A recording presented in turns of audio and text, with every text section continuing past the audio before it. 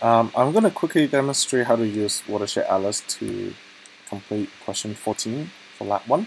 So after you log on to Connect, go into the lab section. Okay, the link to Watershed Atlas should be under lab 1. And click into that. It's a government website. So you click Go here to launch the BC Watershed Atlas. Notice if you don't have Silverlight installed on your computer, you do have to install that. Shouldn't take um, that long. Okay, you load up the map, and any moment now. Okay, so after you launch the app, it should look something like this. You locate the watershed by using uh, the lat long given the question.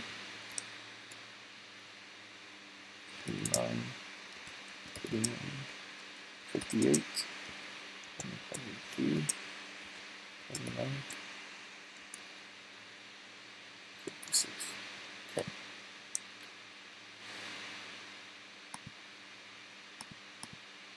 So you should be able to um, recognize the smaller lake and the bigger elongated lake.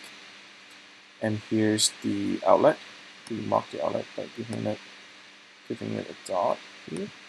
Okay. Zoom to this. There. Okay. Right now, because there's no contour map, so it's not possible to delineate the watershed. So we're going to go here, show layers. Okay.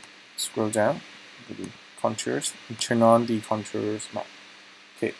To make it load faster, you can just disable roads map and then turn on terrain map. Okay, now the contour maps um, show up. Okay. So to delineate watershed um, on Atlas is almost like um, what, what you have been doing on a paper map, but you know digitally. So to measure the area, you go to Analysis, and here's a tool called um, Area. You click that.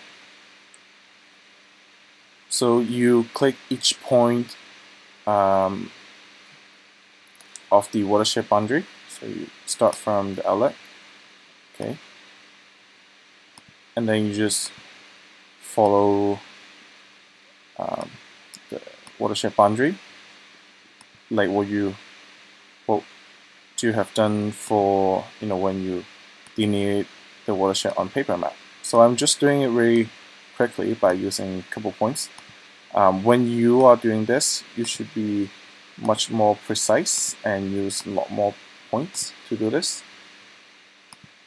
I'm doing it very roughly. So at the end, you double click to finish the measurement. The area of the watershed is showing in the center, um, but right now it's in square meter, so we're going to change it to uh, square kilometer.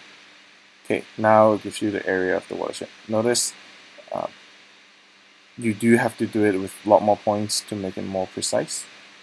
And um, this water, this app has a lot more other functions and you know a lot of layers and other things. Um, feel free to explore this app and give it a try. You might find it useful in the future.